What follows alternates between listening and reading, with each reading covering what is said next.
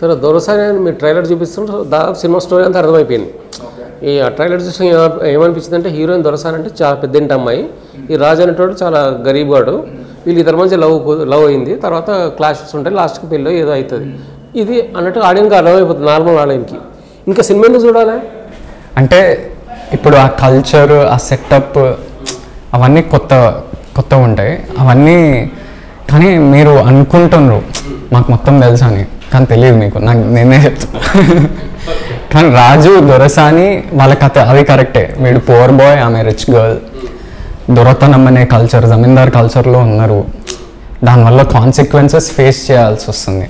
భరించాలి.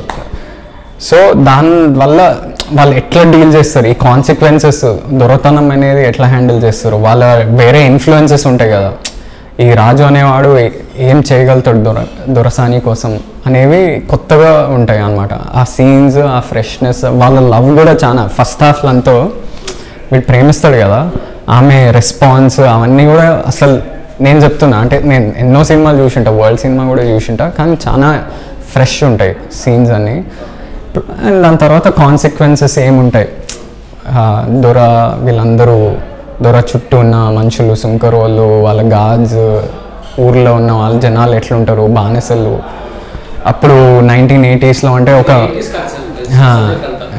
నైన్టీన్ ఎయిటీస్లో అలా ఆ టైంలో నక్సలిజం కూడా ఒక పెద్ద పార్ట్ ఉండే మన నార్థన్ తెలంగాణలో. అవి ఏమన్నా ఉంటాయా? అట్లాంటివన్నీ ఫ్యాక్టర్స్ ఉన్నాయి మన సినిమాలో. చాలా ఉంది. కథ ఎప్పుడు అరే ఇది ఎక్కడో చూసినాం అన్నట్టు ఉండదు.